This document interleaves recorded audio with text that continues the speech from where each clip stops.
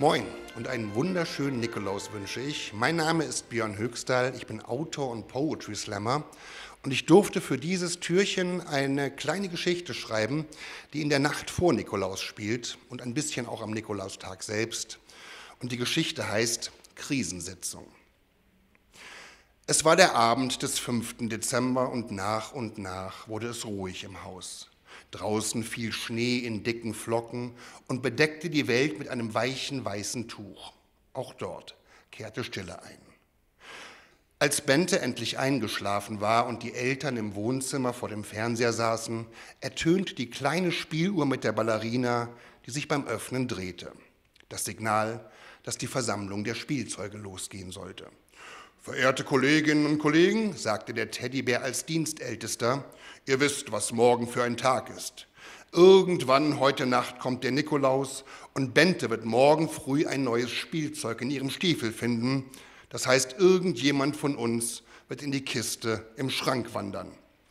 Er sagte zwar irgendjemand, aber alle Blicke gingen verstohlen zu Paul, dem elektronischen Hund, der bellen, laufen und pinkeln konnte und den Bente in den Sommerferien in Dänemark bekommen hatte. Das kann ich mir gar nicht vorstellen, sagte Paul. Ich bin Ihr Lieblingsspielzeug. Manche kicherten hämisch, da es ihnen selbst schon so ergangen war. Andere stimmten Paul zu, da sie noch Hoffnung hatten. Das ist nur eine Phase, sagte der Fidget Spinner. Bestimmt spielt sie auch bald wieder mit mir. Du bist nur eine Phase, sagten die Duplo-Steine und schielten neidisch zu den normalen Lego-Steinen, die immer noch im Kinderzimmer auf dem Boden standen und nicht in einer Kiste im Schrank. Bei uns ist das jetzt auch schon wieder zwei Wochen her, dass mit uns gespielt wurde. Schaut euch den Staub auf uns an, sagten die Lego-Steine und schielten dabei neidisch zum Tablet auf dem Schreibtisch, das zwar mit Fettfingern beschmiert war, aber noch nie Staub angesetzt hatte. Das versammelte Spielzeug war unzufrieden. Mehr und mehr von ihnen beklagten sich. Ich habe jetzt, wer weiß, wie lange schon den Hintern vom Plüscheinhorn im Gesicht gehabt. In dieser dunklen, muffigen Kiste, sagte das Plüschkaninchen, das Bente letztes Ostern unbedingt hatte haben wollen. Mit vielen von uns spielt sie gar nicht mehr. Und wenn sie etwas Neues bekommt, ist man ganz schön abgemeldet, meckerten die Lumenbänder. Und in ein paar Wochen ist Weihnachten, da wird es dann noch viel schlimmer, sagte das Plüschkaribu Cassandra. Niemand hatte ihr zugehört, die Stimmung war schon mies genug. Aber manchmal, wenn sie Freundinnen zu Besuch hat, dann werden wir noch rausgeholt, sagten die Puppen.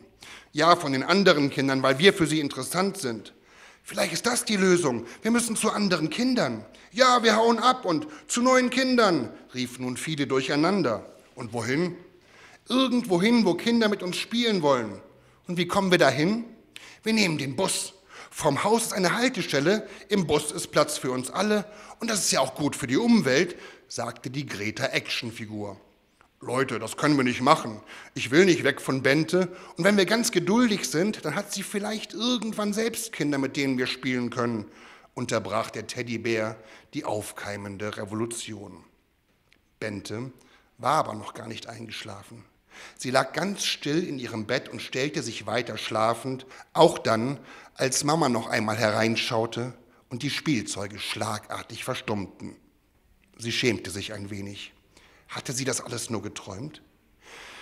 Am nächsten Morgen fand Bente in ihrem Stiefel neben Süßigkeiten statt eines Spielzeugs ein T-Shirt von der italienischen Band, die sie seit dem letzten Eurovision Song Contest so gerne mochte. War da ein ganz leises Aufatmen aus der Spielzeugkiste zu hören? In den folgenden Tagen und Wochen spielte Bente wieder mit vielen ihrer Spielzeuge. Und die Sachen, für die sie nun wirklich zu alt war, die steckte sie mit Mama zusammen in Säcke und brachte sie zu einem Verein, der Spielzeug sammelte für Kindergärten und andere Orte, wo sie gebraucht wurden. Nach dieser Nikolausnacht hatte Bente bei neuen Spielsachen immer zweimal darüber nachgedacht, ob sie das nun wirklich brauchte oder nicht. Und sie hatte auch dem bereits vorhandenen Spielzeug gezeigt, dass es weiterhin erwünscht und geliebt war. So musste in ihrem Kinderzimmer nie wieder eine Krisensitzung abgehalten werden. Ich wünsche euch eine schöne Adventszeit. Vielen Dank.